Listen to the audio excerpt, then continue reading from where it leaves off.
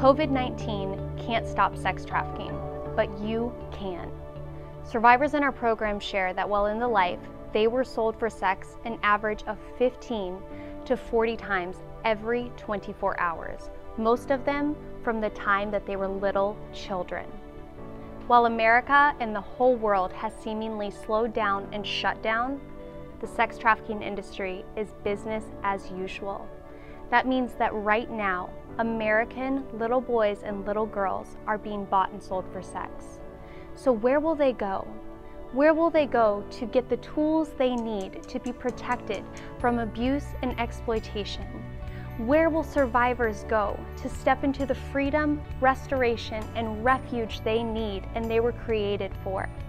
The answer, time and time again, has been Selah Freedom. Thanks to your support, we have continued to set the highest level of outcomes, standards, and measurements in serving this vulnerable, in need population. And with your help, we are going to continue to do that even in the midst of unprecedented crisis. So we encourage you, help us close the giving gap.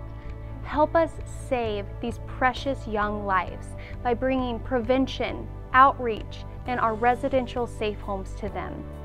We know that we can continue to bring light into the darkness of sex trafficking with your help.